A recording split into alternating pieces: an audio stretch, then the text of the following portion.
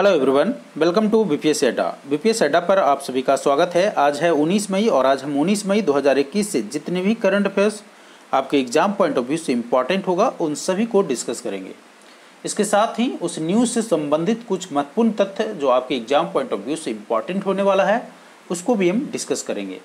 यदि आपको daily current affairs का पीडीएफ चाहिए तो आप ज्वाइन कर सकते हैं हमारा टेलीग्राम चैनल आपको टेलीग्राम चैनल पर इसका पीडीएफ प्रोवाइड कर दिया जाएगा। टेलीग्राम चैनल का लिंक आपको डिस्क्रिप्शन बॉक्स में मिल जाएगा। आप वहाँ से जाकर के टेलीग्राम चैनल ज्वाइन कर सकते हैं। तो चलिए स्टार्ट करते हैं हम आज का सेशन। सेशन स्टार्ट करने से पहले यदि आप हमारे चैनल पर नए हैं तो चैनल को सब्सक्राइब और बेल आइकन को प्रेस कर दें सो so दैट अगर कोई वीडियो इस चैनल पर अपलोड किया जाता है तो आप उसे मिस न करें, अर्थात आपको नोटिफिकेशन मिल जाए। तो चलिए देखते हैं हम आज का पहला प्रश्न। आज का हमारा पहला प्रश्न है किस राज्य सरकार के द्वारा ब्लैक फंगस को महामारी घोषित किया गया है? देखिए ब्लैक फंगस जो है काफ़ी चर्चा में रहा है। इस कोविड 19 के जो है इन्फेक्शन है इससे एसोसिएट होकर ब्लैक फंगस काफ़ी चर्चा में रहा है।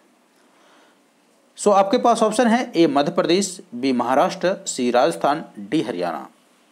Black fungus को महामारी घोषित करने वाला राज्य बना है राजस्थान। तो इस प्रश्न का सही आंसर होगा ऑप्शन सी राजस्थान। ये हैं अशोक गहलोत और ये राजस्थान के वर्तमान में मुख्यमंत्री हैं। इन्होंने ब्लैक फंगस इन्फेक्शन को महामारी घोषित कर दिया है। तो आपको याद रखना है, ब्लैक फंगस इन्फेक्शन को महामारी घोषित किसके द्वारा किया गया है? तो अशोक गहलोत, जो कि राजस्थान के मुख्यमंत्री हैं। और एक चीज़ और मैं बता दूँ कि ब्लैक फंगस को अन्य नाम से भी जाना जाता है, जिसका नाम है म्यूकर माइकोसिस सो अगर ब्लैक फंगस और म्यूकर माइकोसिस शब्द आता है तो इस तरह से प्रश्न में अगर एग्ज़ाम में पूछता है कि ब्लैक फंगस का अन्य नाम क्या है तो उसका होगा म्यूकर माइकोसिस ठीक है? तो इतना इस प्रश्न से आपको याद रखना है। अगला प्रश्न है सैटेलाइट इंटरनेट सेवा प्रदान करने के लिए गूगल क्लाउड ने किसके साथ भागीदारी की है? A NASA B SpaceX C ISRO and D Roscosmos देखिए सैटेलाइट इंटरनेट सेवा प्रदान करने के लिए गूगल क्लाउड ने स्पेस एक्स के साथ साझेदारी किया है। तो इस प्रश्न का सही आंसर होगा ऑप्शन बी स्पेस एक्स अब इसे देख लेते हैं थोड़ा डिटेल में। स्पेस एक्स और गूगल क्लाउड के बीच स्टारलिंक उपग्रह के माध्यम से, अर्थात स्टारलिंक सेटेलाइट के माध्यम से इंटरनेट सेवा प्रदान करने के लिए एक समझौता पर हस्ताक्षर किया गया है। स्टारलिंक प्रोजेक्ट के तहत एक जो सैटेलाइट सेवा अर्थात इंटरनेट सेवा जो प्रदान किया जाएगा तो इन दोनों के बीच जो समझौता किया है, किसके बीच? गूगल क्लाउड और स्टारलिंक स्पेस एक्स के बीच। और ये प्रोजेक्ट किसके तहत किया जाएगा? स्टारलिंक प्रोजेक्ट के तहत। अब चूँकि ऑप्शन में दो तीन स्पेस एजेंसियाँ और थी तो उसको भी हम देख लेते हैं। नासा किस देश की स्पेस एजेंसी है? यूएसए। राइट? इसरो किस देश की स्पेस एजेंसी है? इंडिया। और रॉस्कोमोस किस देश का स्पेस एजेंसी है? रूस, अर्थात रसिया। तो इतना आपको इस प्रश्न से याद रखना है। कोई भी प्रश्न अगर आप पढ़ते हैं तो उसे एसोसिएटेड फैक्ट पर एक बार नज़र ज़रूर डाल लें क्योंकि कई बार क्या होता है कि हमारी जो आदत बन जाती है मल्टीपल चॉइस क्वेश्चन को सॉल्व करने का just be read the question and answer the जो रिलेवेंट आंसर होता है, उस पर टिक लगाते हैं एंड बढ़ जाते हैं। Just try to think about the other option also कि इससे क्या हमारे लिए जो फ्यूचर में करंट अफेयर्स के टॉपिक बन सकते हैं। अगला प्रश्न है, किस राज्य के मुख्यमंत्री के द्वारा सब्ज़ी के लिए मोमा मार्केट का शुभारंभ किया गया है? बहुत इंपॉर्टेंट प्रश्न है, मोमा मार्केट का शुभारंभ किया गया है। A, Arunachal Pradesh, B, Madhya Pradesh, C, Meghalaya, D, Manipur.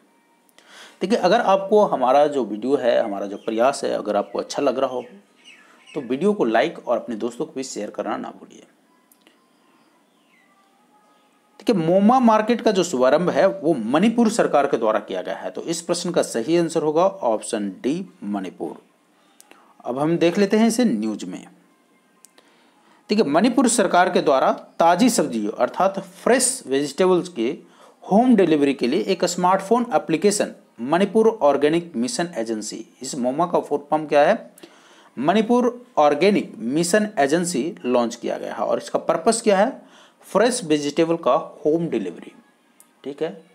इस, खास करके ऐसे समय में जब प्रत्येक स्टेट में लॉकडाउन की स्थिति बनी हुई है, इस स्थिति में जो इस तरह का एप्लीकेशन का यूज़ किया जा रहा है विभिन्न सरकारों के द्वारा कि रियली काबिल तारीफ़ है और ऐसा करना भी चाहिए because we need to be a contactless हमें एक दूरी बना के रखने की आवश्यकता है इस महामारी के समय।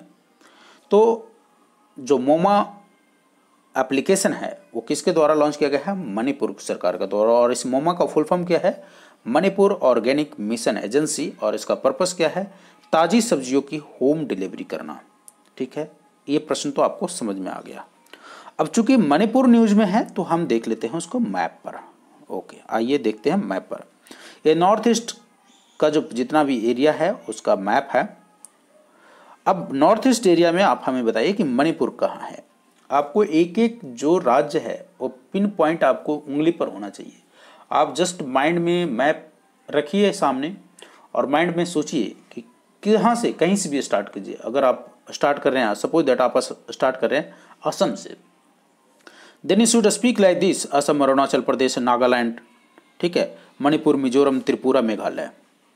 तो एक सीक्वेंस वाई या मेघालय से अगर स्टार्ट कर रहे हैं so you can speak like this Meghalaya, Tripura, आप सर्कुलेट एंटी क्लॉकवाइज घूम ले जाइए देखिए, दो तरीके हैं, इधर आप स्टार्ट जब करते हैं किसी भी चीज़ों को तो या तो क्लॉक वाइज स्टार्ट कीजिए या एंटी क्लॉक वाइज स्टार्ट कीजिए।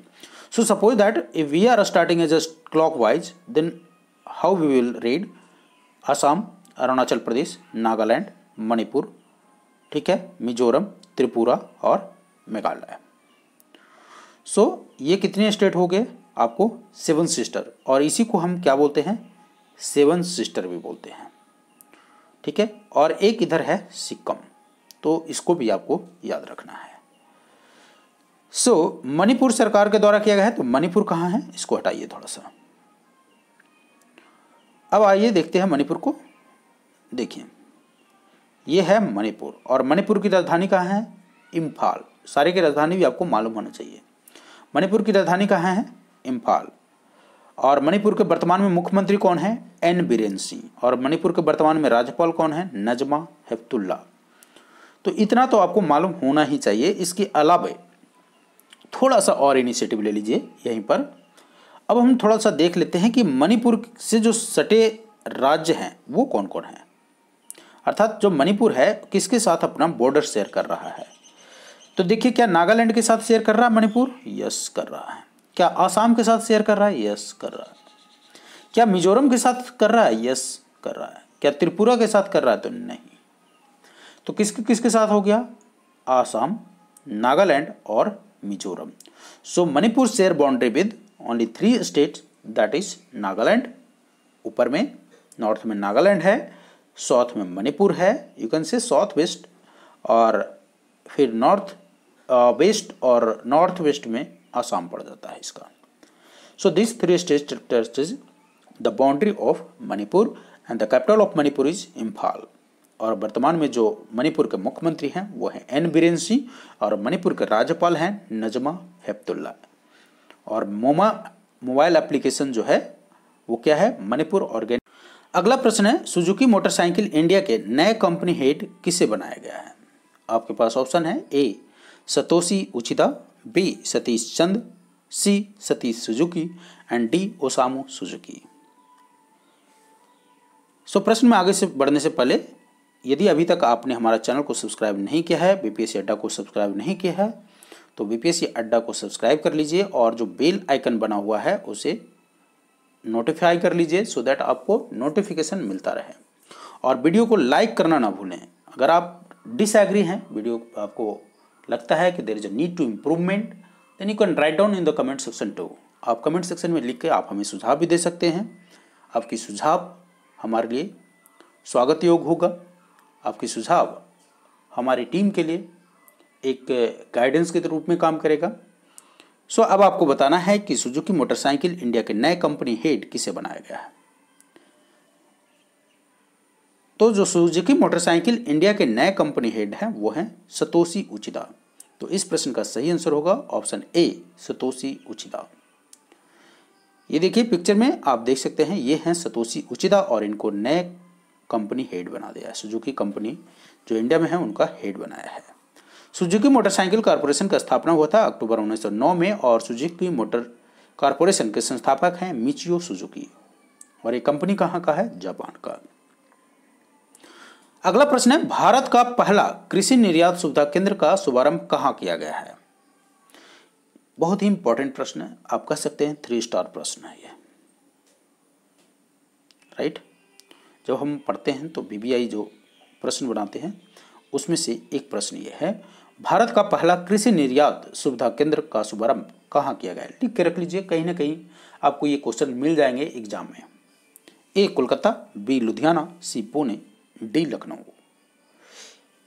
Agriculture export facility centre इसको क्या बोलते हैं? Agriculture export facility centre so Bharat का पहला एग्रीकल्चर एक्सपोर्ट फैसिलिटी सेंटर जो बनाया गया है, वो पुणे में बनाया गया है। तो इस प्रश्न का सही आंसर होगा ऑप्शन सी पुणे में। थोड़ा सा डिटेल में देख लेते हैं इसको। Maharashtra chamber of commerce, industry and agriculture, national bank for agriculture and rural development के सहयोग से पुणे में भारत का पहला कृषि निर्यात सुविधा केंद्र बनाया गया है। अभी क्या है? Maharashtra chamber of commerce, industry and agriculture के साथ साथ national bank for agriculture and rural development, ये दो में, दोनों को सहयोग से पुणे में भारत का पहला कृषि निर्यात सुविधा केंद्र की शुरुआत की है। कौन कौन Maharashtra chamber of commerce industry and agriculture और दूसरा है नबार्ड तो इन दोनों के सहयोग से पुणे में, पुणे कहाँ पर पड़ता है? महाराष्ट्र में। सो पुणे में भारत का पहला कृषि निर्यात सुविधा केंद्र अर्थात एग्रीकल्चर एक्सपोर्ट फैसिलिटी सेंटर शुरू किया गया है। अब चूँकि नवाड न्यूज़ में है तो देख लेते हैं थोड़ा सा नवाड को डिटेल में। एक प्रश्न आपको नवाड से इकोनॉमिक सेक्शन के अंतर्गत हमेशा कहीं ना कहीं आपको एग्ज़ाम में टकरा जाएगा। सो so, नवाड की स्थापना हुई थी 12 जुलाई 1982 को और नवाड का मुख्यालय है मुंबई में और नवाड के वर्तमान में जो अध्यक्ष हैं वो हैं जी आर चिंताला। तो इतना इस प्रश्न से आप याद रखिए। सो so, आज के इस वीडियो में बस इतना ही। अगर आपको हमारा वीडियो अच्छा लगा हो तो इसे लाइक और अपने दोस्तों को भी शेयर करना ना भूलिएगा। और यदि आपका कोई सुझाव हो तो आप कमेंट सेक्शन में लिखकर आप अपना सुझाव हमें बता सकते हैं। सो आज के लिए बस इतना ही। धन्यवाद।